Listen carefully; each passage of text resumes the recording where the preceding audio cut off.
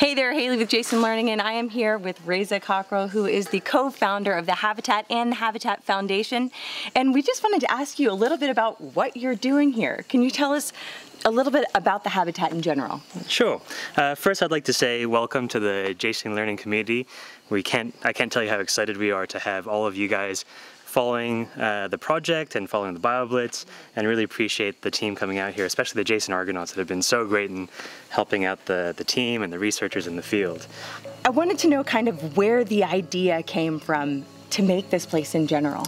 So my family actually lives up here on Penang Hill. We have lived up here for about 20 years. We saw the potential of uh, getting people more access into the rainforest. Mm. Everywhere we go, particularly in Asia, we find that people have become so disconnected from the natural environment. We are part of this ecosystem, we're part of this biosphere. So it's really important that we continue that connection. So we wanted to build a park that allows people to, to re-enter the rainforest in a, in a relatively controlled and sort of hospitable hospitable environment. So why was it so important for you to bring the BioBlitz here? It was really important for us to bring the BioBlitz because uh, what we're really trying to do in Penang is turn Penang Hill, uh, the forest that we're in right now, mm -hmm. into a UNESCO Man in the Biosphere Reserve. That for us is a, a, way of just protecting the forest even more than it already is. And this BioBlitz forms the baseline science that goes into the actual application for the, for the UNESCO listing. I can really see this place becoming a total science hotspot because, I mean, it has so many amenities because of its location. To have a tropical rainforest so close to a large city like Penang, uh, we're close to an international airport, we're close to a world-class educational institution, University of Science Malaysia, close to hotels, great food, culture, all that kind of stuff. It just makes the logistics of getting into a rainforest to conduct research like that so much easier.